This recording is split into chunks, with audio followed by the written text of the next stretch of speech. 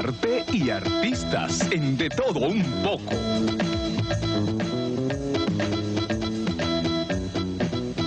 Bueno, Eddie Herrera acaba de prácticamente llegar al país de una exitosa gira. Eddie, cuéntame de tu gira. Sí, como no, antes que nada, Nos metemos así de una vez. chévere, chévere. Encantado de saludarte, Mulito. Cómo no, contento de que estés ya muy, muy mejor ya. O mejor dicho, bien. Eh, sí, como tú bien dices, acabo de llegar de una gira exitosísima. Una gira prácticamente de un día. Hoy Estuvimos eh, el sábado pasado en la bella isla de San Martín. Entonces, eh, tuvimos un concierto increíble en donde habían aproximadamente unas 8.000 personas. Estuvo 8.000 también- personas. 8.000 personas. Y también estuvo el grupo eh, de Curazao llamado WR, que es uno de los grupos más de mayor consistencia en las islas del Caribe. Eh, el, como es normal, Carolina sigue dando batallazos Oye, por ahí. ¿verdad? Tú no pensabas que esto iba a ser un palo, tanto que te criticaron. Y el bolero también, es el caso. El, el- el bolero. Tantas veces que hablábamos de ese bolero, Mundito, y ese bolero ha tenido un éxito increíble, sobre todo en las Islas del Caribe. Bueno, y yo me pregunto de estos analistas que decían que eso no iba a ningún sitio, que eso era una copia de Javier Solís. De- ¿eh?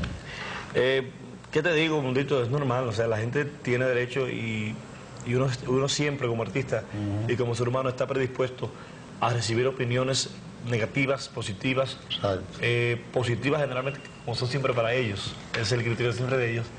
En este caso, eh, lamentablemente para ellos no fue como ellos eh, predijeron que fuera. Gracias a Dios fue como nosotros entendimos que era, que eran éxitos, fueron versiones casi igualitas, con, como decían ellos, pero con el sello de, de- de identidad, el sello como cantante, como persona de Eddie Herrera. Eh, las otras giras que tú tenías en mente, o sea, los proyectos de gira que tú tenías, ¿cómo va ese asunto? Sí, bueno, Bondito, tú sabes que yo, como Eddie Herrera y Orquesta, eh, nos hemos ido trasladando por un sinnúmero de países desde el mes de octubre hasta ahora. Eh, fuimos a Panamá, en Panamá Carolina Sí. fue un gran exitazo también.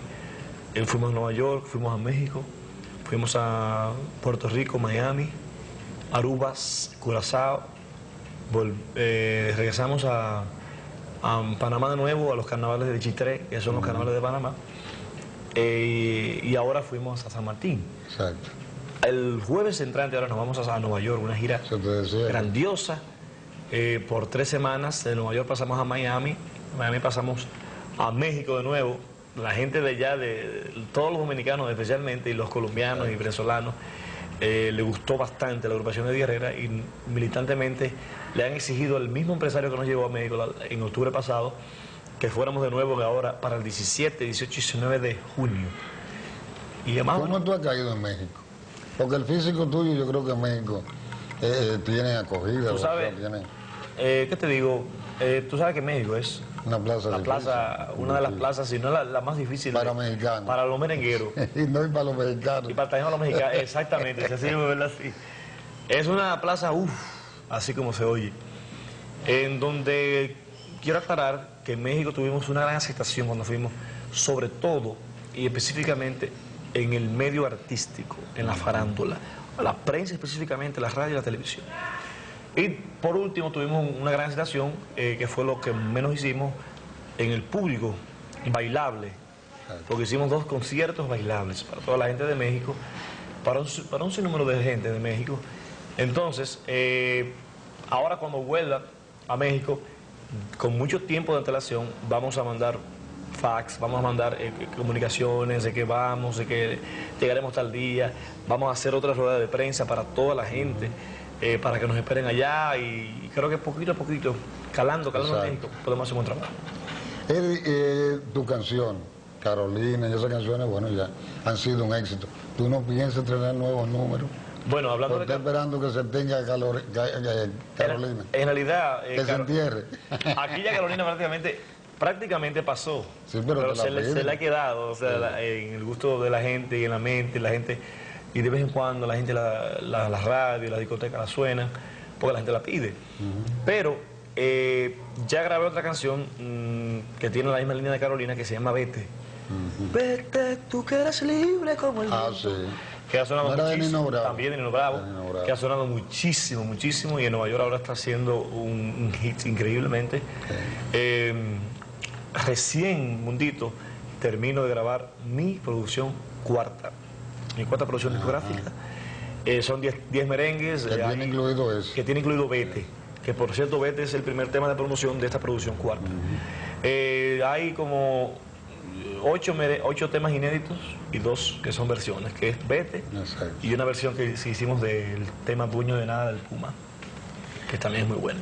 Bueno, señor, ustedes ven que Eddie Herrera, a pesar de los pesares, y de decir que, Y los tenía, comentarios. y de decir que tenía que ser un tigre para triunfar, el muchacho Sí. se está metiendo internacionalmente sin tener que convertirse en un tigre. sí.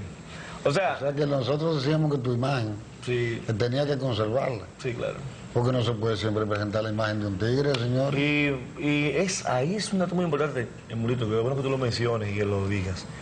¿Por qué? Porque yo no me lancé, o sea, yo no me lancé a ser Eddie independiente, con el proyecto independiente, a ser un tigre, a hacer lo que la gente en República Dominicana y en muchas partes del mundo ve lo- los cantantes merengueros. La gente, por ejemplo, en este país específicamente, toda la gente o un 80% del público nacional ve los merengueros como personas que apenas hacen un séptimo grado de, de- de primaria, que no tienen educación, que no tienen modales, que fueron limpiabotas anteriormente, que fueron chineros, que vendían patatas Sí, con sí, yuca, que no tenían... No es que piensen como una batata con pantalones. Eh, y, que, y que piensan como uno, tú sabes, así. Entonces, yo dije, hay, un- hay un vacío, hace falta que alguien, eso fue antes de yo lanzarme, hace falta alguien que dé a mostrarle al público de República Dominicana primero que en realidad no somos así nosotros los merengueros. Y que si hay, hay algunos, que sean muy pocos, pero yo me colé por ahí y gracias a Dios, Mundito, a ti te consta, ya tengo casi cuatro años con mi, mi orquesta independiente eh, y me he ganado el cariño, creo que me he ganado el cariño de toda la gente de República Dominicana y ahora lo estoy logrando en el plano internacional. ¿Cómo no, Eddie? Pues te felicitamos. Tú sabes que nos alegramos de tus éxitos, porque hemos seguido desde el principio tu carrera. Y sabemos Gracias, gracias. que tú tienes que llegar. Gracias. Definitivamente porque te lo mereces. Yo, eh, modestia aparte, Mundito, pero yo creo que lo que se hace con cariño, con buena intención y sobre todo con calidad, eh, perdura. Es como, por ejemplo, un título, un título de, de- de- de profesional. Exacto. Tú, eres, tú te, te gradúas de médico. Ese título que tú- que te dan por la graduación, tú lo cuelgas en tu casa, en el pasillo de tu casa o atrás de tu cama. ¿Y quién te quita ese, ese título de ahí? Hasta que tú te mueras, 100 años, tú, mueras, sigue, tú, tú- tú sigues siendo médico. Entonces, eso es calidad, lo, lo que tú te has ganado estudiando. Y yo, gracias a Dios, respeto mucho al público y trato de hacer las cosas con mucha calidad y sobre todo con mucho respeto para toda la gente. ¿Cómo no, Eddie? Bueno, vamos a esperar que vuelva de tu gira para conversar otra vez. Perfecto, siempre a la disposición y gracias por la Adelante, invitación. hasta que el cuerpo aguante. Gracias, Te salvaste de las Y me elecciones. alegro de que, te- que estés bien, ¿eh? Gracias. Bien.